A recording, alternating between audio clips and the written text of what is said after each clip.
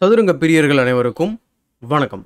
இன்றைக்கி நம்ம பார்க்க போகிற வீடியோவில் கத்தார் மாஸ்டர்ஸ் சுற்று இரண்டில் இருந்து ஒரு சுவாரஸ்யமான ஒரு ஆட்டத்தை வந்து நம்ம பார்க்க போகிறோம் இந்த ஆட்டம் வந்து பார்த்தீங்கன்னாக்கா மேக்னஸ் கால்ஸ் வந்து பிளாக் பீசஸ் வந்து ஹேண்டில் பண்ணுறாரு இந்த பக்கம் ஒயிட் பீஸ் வந்து ஹேண்டில் பண்ணிட்டு இருந்த பிளேயர் வந்து பார்த்தீங்கன்னா கிராண்ட் மாஸ்டர் அலிஷர் சுலைமனாஃப் அப்படின்னு சொல்லிட்டு கஜகஸ்தான் நாட்டை சேர்ந்தவர். இவர் இப்போ தான் வந்து கிராண்ட் மாஸ்டர் பட்டம் பெற்றிருக்கிறாரு.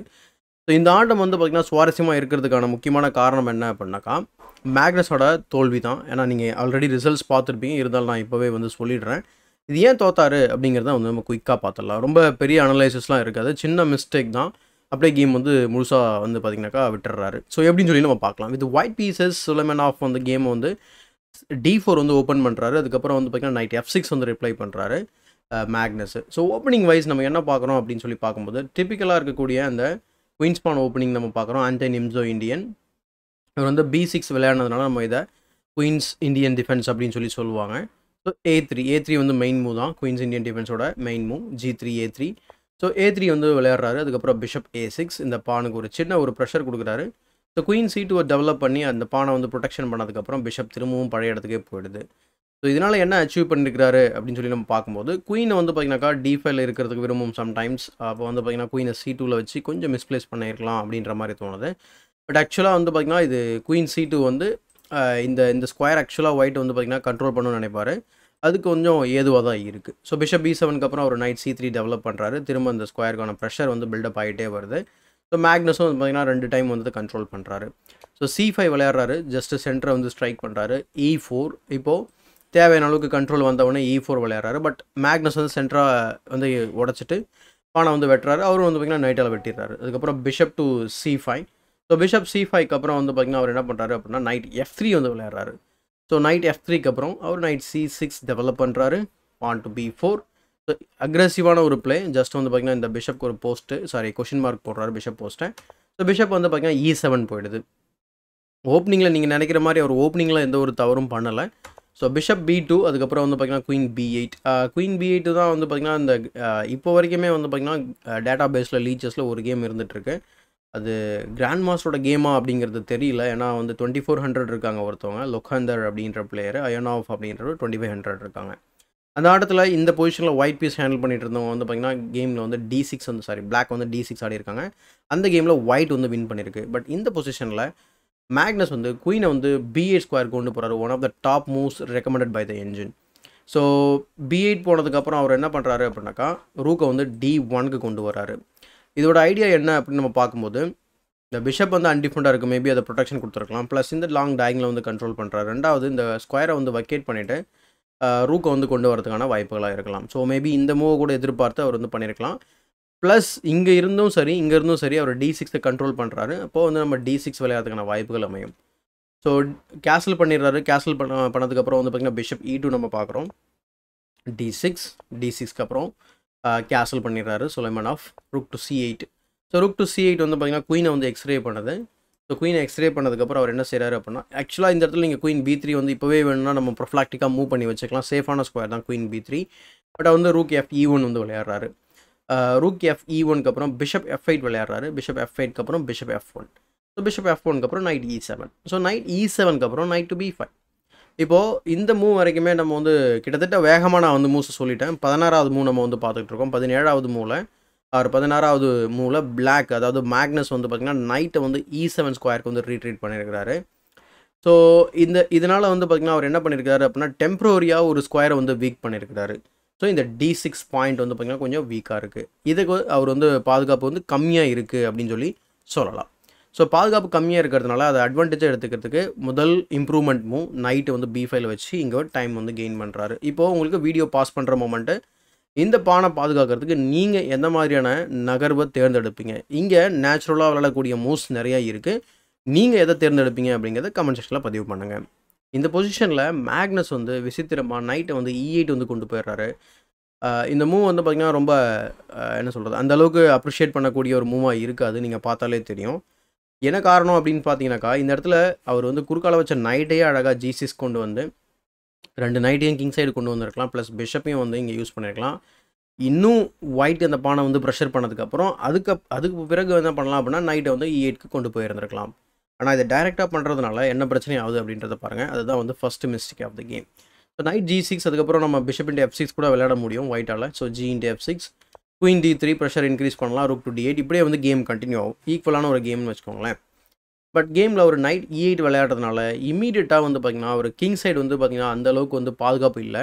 ஸோ குயின் வந்து சீட்டில் ஒரு அழகான ஒரு போஸ்ட்டில் இருக்குது ஸோ ஹெச் செவன் எக்ஸ்ரே பண்ணிகிட்ருக்கு அதனால் திரும்ப ஒரு நேச்சுரலான ஒரு அட்டாக்குக்காக நைட்டை வந்து ஜி ஃபைவ் கொண்டு போகிறாரு இப்போது ஜஸ்ட் நான் மார்க் பண்ணி வச்சுருக்கேன் ஜஸ்ட் அப்சர்வ் பண்ணுங்கள் மேக்னஸோட பீசஸ் எப்படி வந்து அவர் வச்சிருக்காரு அப்படிங்கிறத பாருங்கள் இது நம்ம பல வீடியோவில் பல கிராண்ட் மாஸ்டர்ஸோ இல்லை இன்டர்நேஷ்னல் மாஸ்டர் நார்மலான பிளேஸ் எல்லாரோட கேம்லையும் இதே மாதிரி நம்ம வந்து சொல்லியிருக்கிறோம். ஸோ பீசஸை வந்து அவங்க ப்ராப்பராக வந்து டெவலப் பண்ணல அப்படிங்கிறது அவங்களுக்கு பிரச்சனையாகும் அப்படின்றது தான் இந்த இடத்துல நான் நோட் பண்ணி வச்சுருக்கேன் ஸோ ஈவன் நீங்கள் வந்து ஒயிட்டை கம்பேர் பண்ணால் கூட பிஷப் ஜஸ்ட் பிஷப் கம்பேர் பண்ணுங்கள் இந்த பிஷப் ஆக்டிவாக இருக்குது இந்த பிஷப் ஆக்டிவாக இருக்குது இந்த பிஷப்புக்கு ஸ்கோப் இருக்குது இது வந்து இல்லை அப்படின்னா சொல்ல முடியாது. வேகமாக வெளியில் வர முடியும்.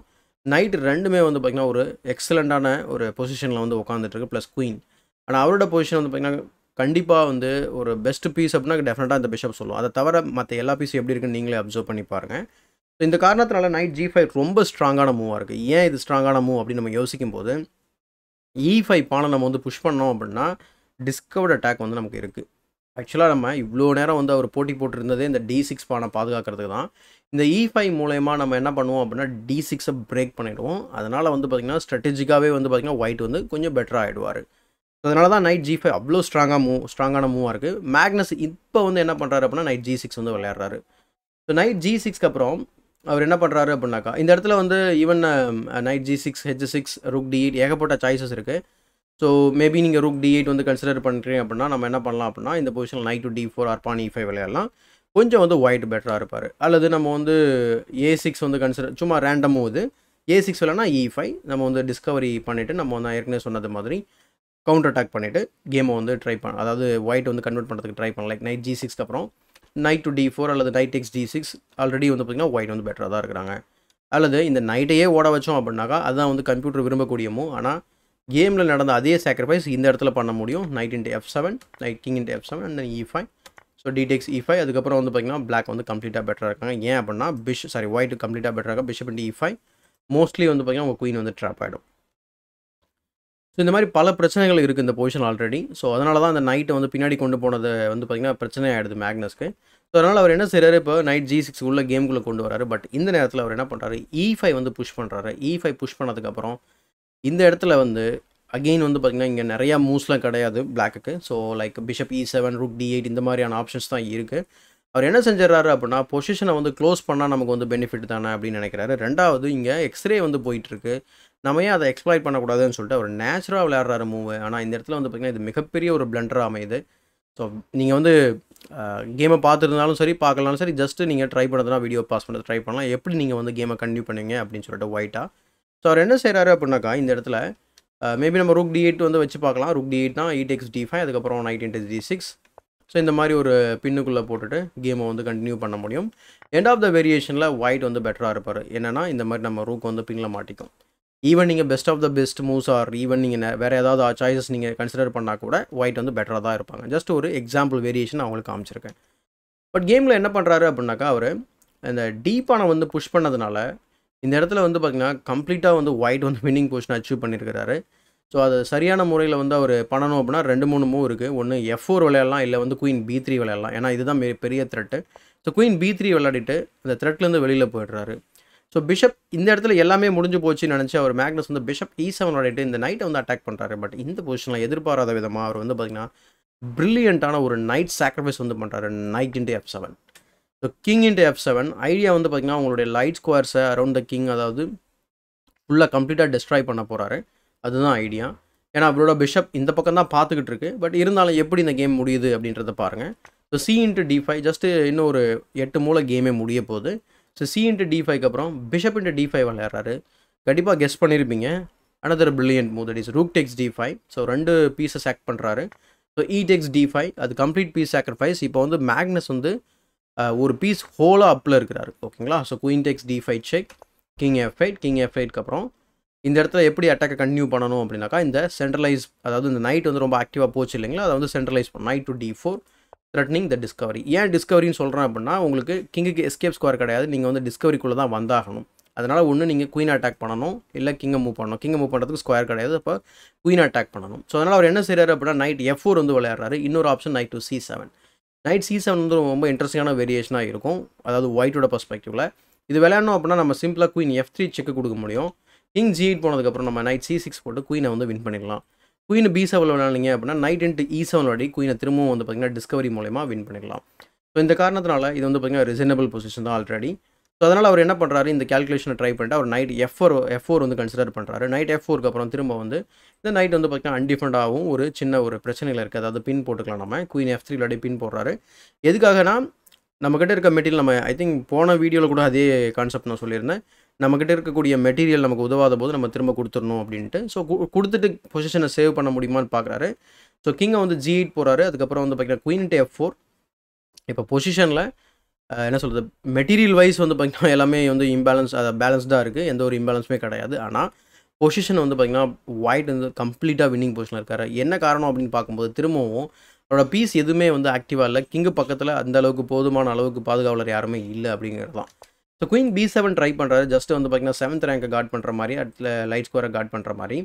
ஸோ இந்த பொசிஷனில் வந்து அவர் நைட் எஃப்ஐ விளாட்றாரு நைட் எஃப்ஐக்கு அப்புறம் அவர் வந்து இந்த இடத்துல ஒரு டிஸ்கவரி செட்டப் பண்ணுறாரு ஆக்சுவல் நைட் எஃப் ஃபைவ் வந்து பார்த்தீங்கன்னா திரும்ப ஒரு த்ரெட்டோட தான் வருது. அந்த ஒரு கிட்டத்தட்ட ஒரு ஆறு ஏழு மூக்கு முன்னாடி அவர் எப்போ அந்த பானை புஷ் பண்ணுறோ அதுக்கு எல்லா அதுக்கப்புறம் எல்லா மூவே வந்து பார்த்தீங்கன்னா த்ரெட்ஸ் ஆஃப்டர் த்ரெட் தான். Just punching moves only so இந்த இடத்துல வந்து அவர் பிஷப் செக் வருது அப்படிங்கிறதுனால பி ஃபைவ் விளையாடி தடுக்கிறாரு. ஆக்சுவலாக வந்து பார்த்தீங்கன்னா இந்த பிஷப்பால் இந்த பானையை வெட்டலாம்.